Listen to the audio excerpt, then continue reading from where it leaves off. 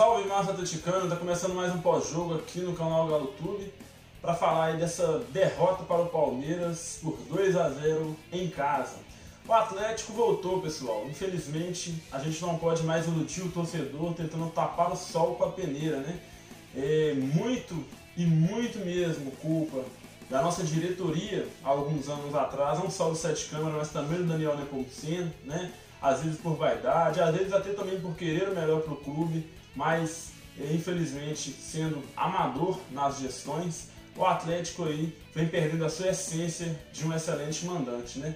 Infelizmente, sei que a gente pegou um dos melhores times é, do campeonato, o Palmeiras, mas quantas vezes você não foi no Mineirão, você não foi na Independência, principalmente na Independência, e viu o Atlético ganhando de times favoritos a conquistarem títulos, a ganhar de times que eram superiores ao Atlético, e hoje não acontece mais isso. Né? Hoje a gente já custa ganhar de times que vão lutar na parte de baixo da tabela, a gente custa ganhar de times que não vão chegar a lugar nenhum nos campeonatos, né? E isso muito em virtude, como eu disse, de erros da diretoria que já vem desde a era pós-Calil aí, né? Lembremos bem aí do Daniel Nepomuceno, demitindo o Roger Machado que vinha de excelente campanha nas competições de mata-mata, né? Contratações aí equivocadas, Lucas Prato vinha muito bem, aí o cara veio me trazer o Fred, né? Que você já sabe o final da história, não é verdade?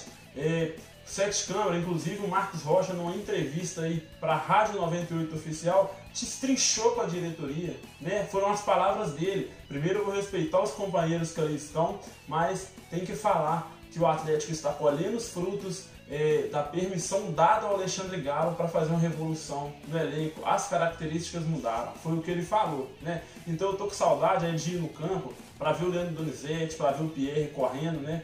É, jogadores que sentiam inconformismo com a derrota, eles não aceitavam sair dali é, é, perdedores, né? E hoje a gente não vê um time assim, né? É, a característica dos jogadores contratados mudou demais, né? O Sete Câmaras chegou e foi uma vergonha o seu primeiro ano, está sendo uma vergonha o segundo ano e a torcida está pedindo pelo amor de Deus ou para o impeachment do Sete Câmara ou para acabar logo o mandato dele, porque os jogadores que estão no Atlético hoje não me lembro nem de longe nomes que eu vou citar aqui. Quem não se lembra né, de jogadores que vestiam o manto do Atlético e deixavam sua raça dentro de campo? Quem não se lembra? Jogadores inconformados com a derrota e hoje vemos aí, né? Hoje o Atlético entrou em campo aí com o Vitor, que para mim não teve culpa nos gols, mas atravessa uma péssima fase.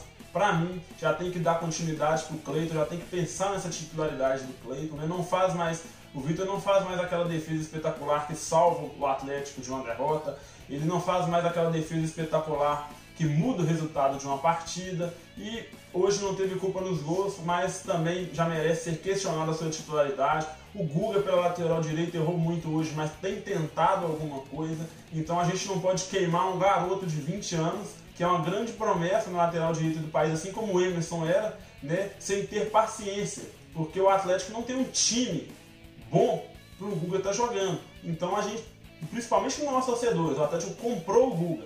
Então ele não é um jogador emprestado. Se a gente queimar o cara agora, vai aguentar o Patrick de novo? Então eu peço paciência para vocês com o Guga, porque a gente sabe que ele tem potencial. E se ele está tentando muito, se ele está errando muito, é porque ele tem tentado alguma coisa. Então, na dupla de zaga ali, Igor Rabelo e Hever não tiveram culpa nos gols. Já vou falar de quem foi a culpa nos gols do Palmeiras.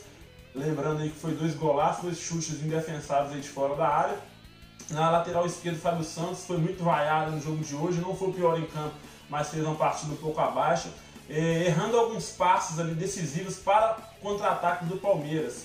Adilson, para mim, foi um dos piores jogadores do Atlético aí. Os dois gols foi bem na frente dele estava dentro da área, na linha de zagueiros, no primeiro chute do Bruno Henrique, em vez de estar tá marcando na cabeça de área. No segundo gol do Palmeiras, a mesma coisa, né? Não conseguiu cortar o toque, era para ele estar tá marcando em cima, ele está marcando território.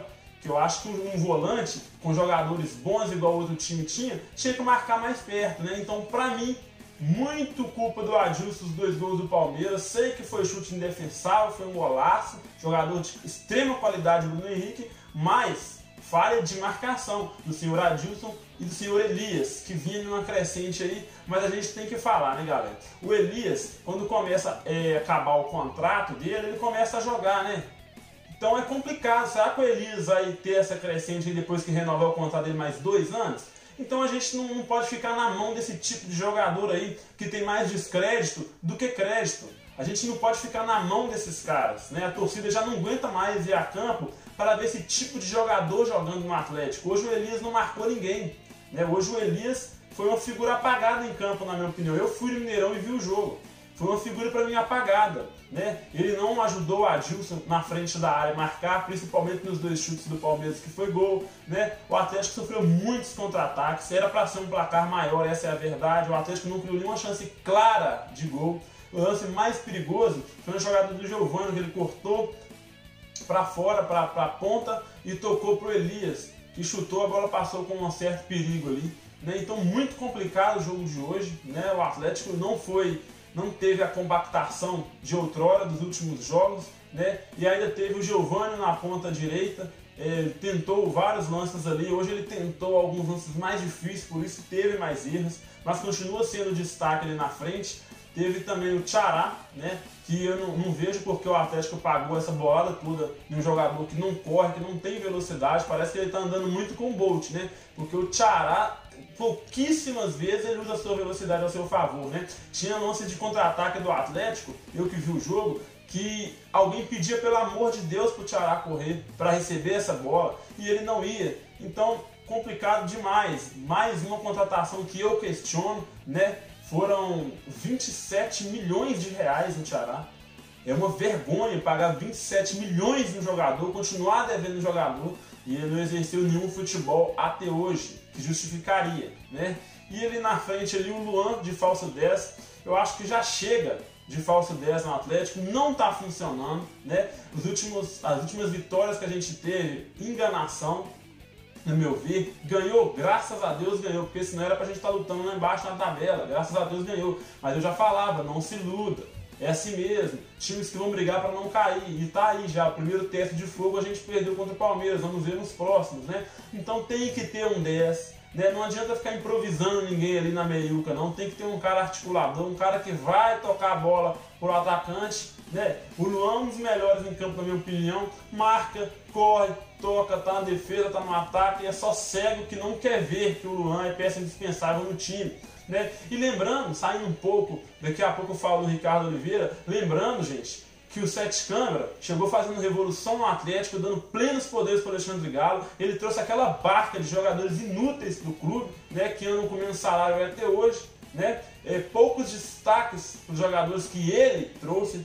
Porque vale lembrar que o próprio presidente disse que alguns jogadores que deram certo no Atlético não foi dedo do Alexandre Galo, foi dedo dele, né? Vamos citar aí, Emerson foi o Sete Câmara que disse ele que contratou, Iago Maidana, Zé Welles, então os que mais deram certo aí pelo Sete Câmara foi ele que contratou, foi ele que foi atrás e não foi o Alexandre Galo. Então o Alexandre Galo foi, foi horroroso, né? Enquanto teve como diretor, liberou o Marcos Rocha por uma peixada, 2 milhões de euros, um jogador do calibre do Marcos Rocha, uma brincadeira de mau gosto. Para mim é uma brincadeira de mau gosto.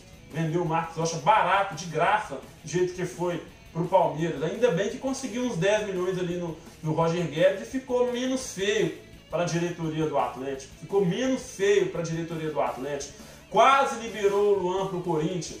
Imagina, galera, o Atlético sem o Luan hoje para você ver a incompetência dos sete câmaras e os seus, os seus é, diretores ali, as pessoas em que ele confia. Será que o Rui Costa vai melhorar, vai mudar esse cenário aí? Porque até agora foi muita conversa e pouco trabalho. Né? Vai esperar a gente perder para o Santos na Copa do Brasil, ser eliminado para trazer o treinador?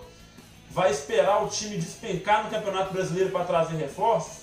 Fica a minha pergunta para essa diretoria fraca e omissa aí do Clube Atlético Mineiro, né? Até quando vamos ficar nas mãos desses caras? É a minha pergunta para as torcidas organizadas que não cobram a presidência como deveriam.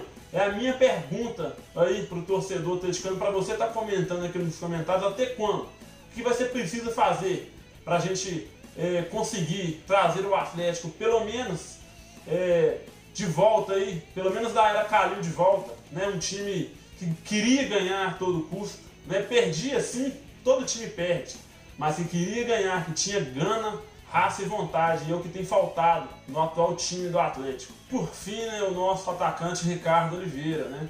Ricardo Oliveira que para mim já pode ir embora, né, galera? Eu vi o jogo, o Ricardo Oliveira foi muito vaiado e começou a olhar para a torcida, fazendo caras e bocas para a torcida, na minha frente, desrespeitando a torcida que ele estava.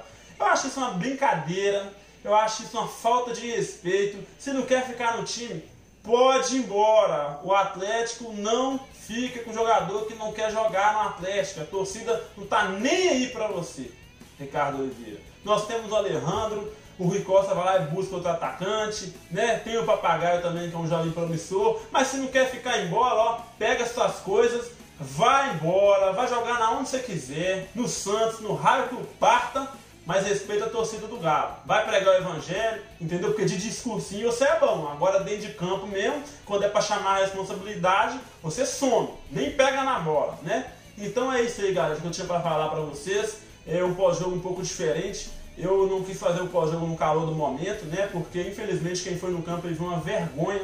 Jogadores sem vontade. Você perder para o Palmeiras jogando com vontade, com gana, é uma coisa, porque o Palmeiras é um timaço. Agora você jogar contra o Palmeiras, que é um dos melhores do campeonato, vai brigar pelo título, moroso do jeito que o Atlético jogou, para mim é uma vergonha. Então eu preferi gravar o jogo um pouco mais tarde, para ser postado hoje de manhã, para que não eu não falo nenhuma besteira aqui, né? Porque eu acho que eu tenho muita responsabilidade em estar passando para vocês exatamente o que tem acontecido e dando a minha opinião. E a sua eu vou querer ler e conversar com você no espaço aqui embaixo dos comentários. Você sabe que eu sempre respondo aí o máximo de perguntas, de comentários que eu posso. Eu sempre deixo um gostei quando eu gosto. A maioria das pessoas que têm comentado eu tenho concordado, tenho dado a minha posição. Então gostaria que você, além de comentar aqui embaixo, deixasse seu like no vídeo, se inscrevesse no canal se não for inscrito para estar tá me ajudando aí a bater a nova meta de 13 mil inscritos. 13 é galo, galera. Vou voltar aí a qualquer momento com mais notícias do Atlético e quarta-feira já tem o Santos pela Copa do Brasil no Independência. E é isso aí, um abraço